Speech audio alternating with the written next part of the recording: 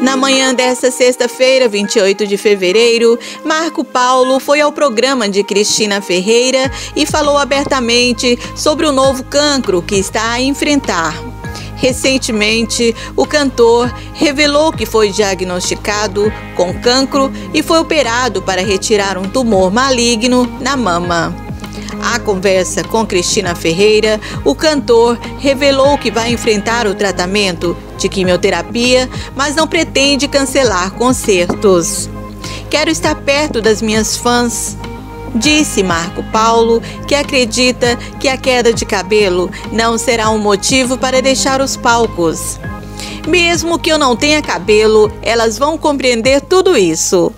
Preciso de força, alegria, muito barulho à minha volta.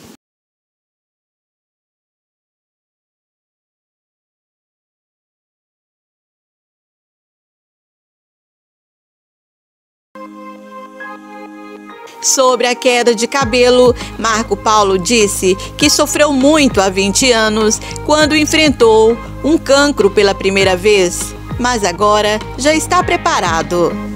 Chorei muito, olhava para mim e era uma coisa estranha. Era uma imagem de marca. Desta vez eu já estou preparado, já sei. Pode vir depois com caracóis, disse o cantor. Marco Paulo afirmou ainda que acha importante falar sobre o assunto, pois é uma forma de conscientizar os homens sobre a prevenção.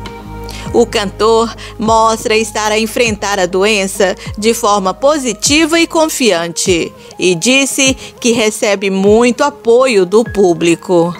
Esta terça-feira, dia 18 de fevereiro, Marco Paulo revelou numa entrevista ao Jornal da Uma na TVI que sofre novamente de um cancro.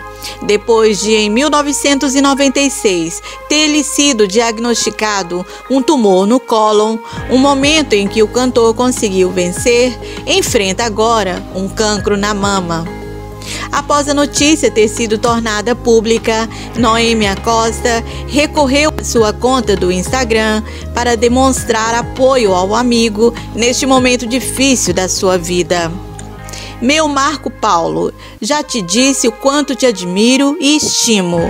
Ainda no domingo falamos.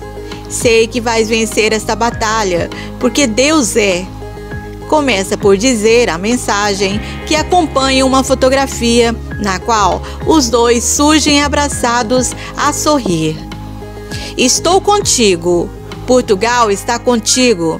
Não te esqueças que a fé é tudo que Deus nos pede. E estaremos a gravar brevemente, amigo. Força! Concluiu a atriz. Thank you.